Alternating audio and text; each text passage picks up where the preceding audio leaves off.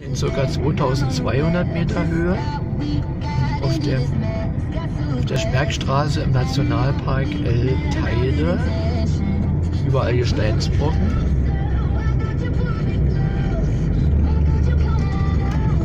Am besten man fährt diese Straße hoch von La Orotava beziehungsweise auch von Santa Cruz, La Laguna. Die Straßen, die begegnen sich in circa 2000 Meter Höhe und die vereinigen sich hier auf diese Bergstraße hier oben, wo dann auch jetzt demnächst die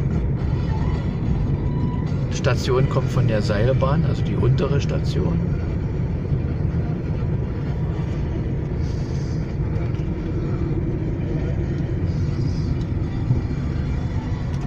Man muss staunen, sogar Radfahrer fahren bis hier hoch die testen wollen, was sie alle so drauf haben. Das liest ja für die Umwelt ab, wie ich.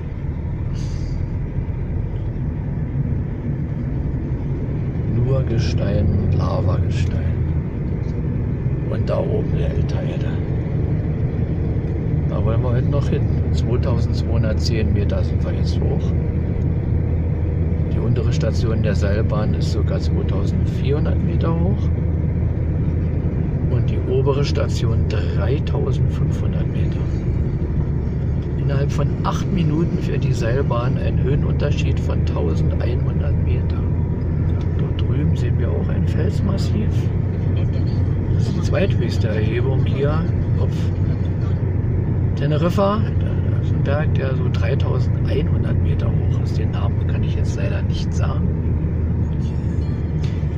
Kann man auch schön nochmal mit Auto oder mit dem Bus halten.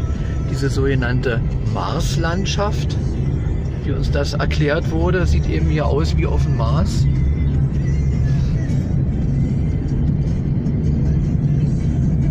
Wenn man an so einer, einer geführten Bustour teilnimmt, dann hält der Bus auch hier an. Dann wird einem ganz genau erklärt, was hier eben los ist.